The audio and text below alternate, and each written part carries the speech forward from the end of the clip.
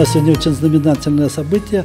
Мы рады этому, что наконец-то вот появляются у нас очень серьезные контакты с нашими польскими коллегами. И мы сегодня хотим найти точки соприкосновения для того, чтобы э, готовить те кадры, у кого есть особенности в физическом развитии. Эта проблема сегодня, она актуальна и для Европы, и для всего мира. И в целом мы только начинаем к ней подходить в нашей области. Э, мы приехали в Беларусь разговаривать по теме людей с ограниченными возможностями.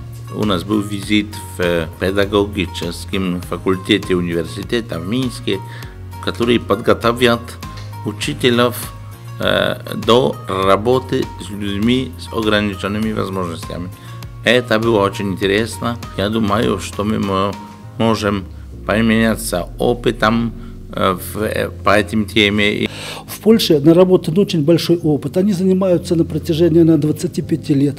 Мы немножко только начинаем, может 3-5. Есть у нас только отдельное учреждение образования в городе Винске, которые отработали это. И мы хотим вот астрополировать, перенести вот этот опыт польских наших друзей, коллег на работу в нашем регионе и в городе Витебске.